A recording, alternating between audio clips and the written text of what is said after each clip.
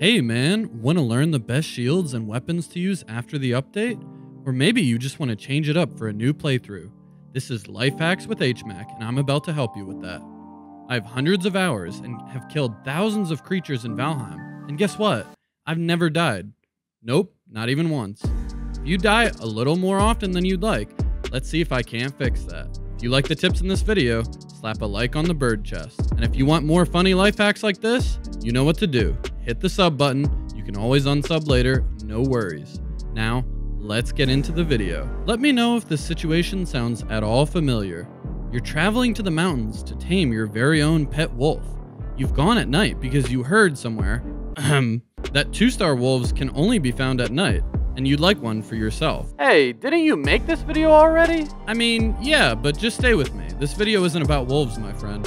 No wolf video? Unsub! As I said, you're traveling to the mountains at night.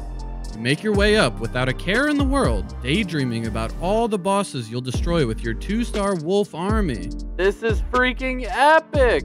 But your fantasy is interrupted by a distinct howl. Oh boy, here's my chance! You see the two star you've been dreaming of, and you tunnel vision.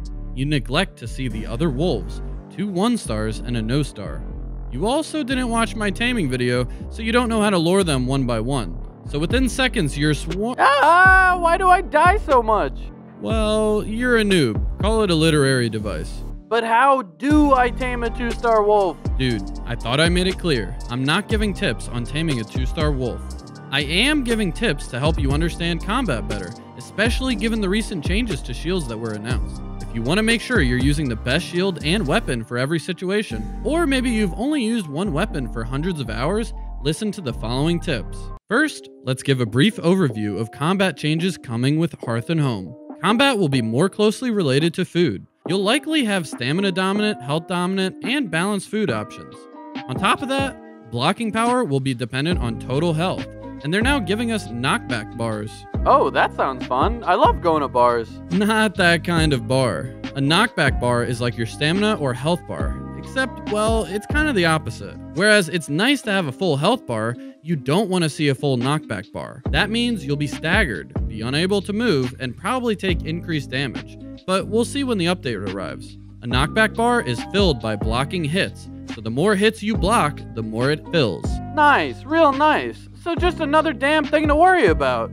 Hey man, this is a Viking survival game. If you want smooth sailing, go back to Animal Crossing. Now that we've covered the changes we're aware of, let's get into shields. Tower shields. I know what you're probably thinking, man.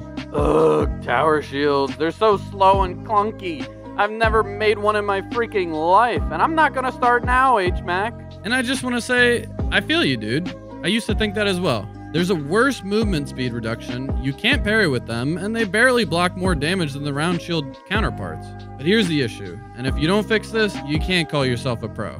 You're using shields wrong. You don't need a tower shield for every fight, nor do you need a round shield for every fight. But when you use them in the right situations, you'll get the job done safer, you'll stay alive longer, and you'll avoid being called a noob. So that's pretty nice too. A tower shield is what you want when you find yourself swarmed with mobs. You'll block more attacks at once, and your knockback bar will not fill up as quickly. Because they announced that total blocking will be dependent on total health, I can also say that with a tower shield, you will be able to utilize more stamina dominant builds in the future. This means using a high stamina usage weapon like a club, or a weapon you don't have high skills for, is made a little bit easier. This is also important because you will use more stamina running due to reduced movement speed. Which, oh yeah, when you equip the tower shield, you get a 20% movement reduction, unless you build a serpent shield, and that's only 10% reduction. So, what other situations do I recommend this? Well, a tower shield is nice when you play with others and you want to play tank. You can absorb the brunt of the hits and aggro while your buddies lay down a ranged assault. Oh, tanks are dope. When did they add those? Just ignore them at this point.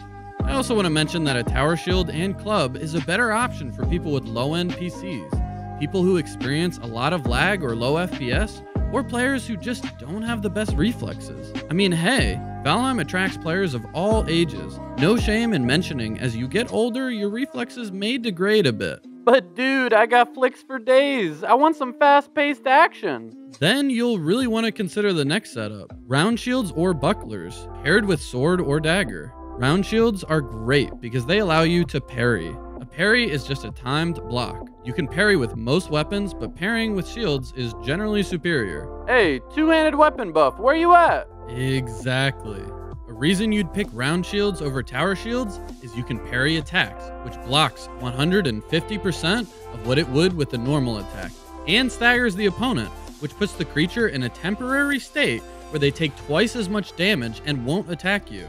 I'll also add that the bronze buckler blocks 200% when you parry, and I have a strong feeling they're going to add more bucklers with higher parry bonuses. So you should really practice your parries now so you can take full advantage. You also move faster with a round shield, so you'll be zooming. With the new food system, you'll probably want a little more health than you would with a tower shield. This means a little less stamina, so if you pair it with a sword or dagger, you'll be totally fine.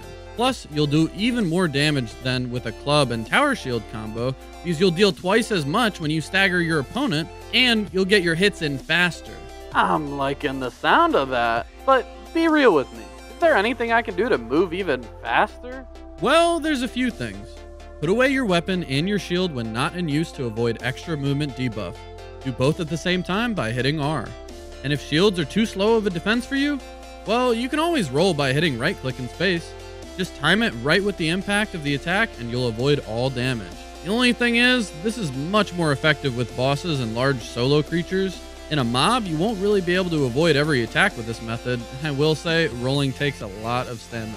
I do not care, man. I'm going troll gear, dagger, and rolling, baby. Max speed all day. Hey, you do you, man. For me, I'll probably go round shield and sword. Alright, I better go get my body and find that two star wolf. Wait, you're gonna walk there? Well, yeah, I mean, it should only take an hour or so. Well, you should really bring a pocket portal. Check out this video if you don't know what I'm talking about. And check out this one if you haven't tamed a two star wolf yet. Until next time, this was HMAC, signing off.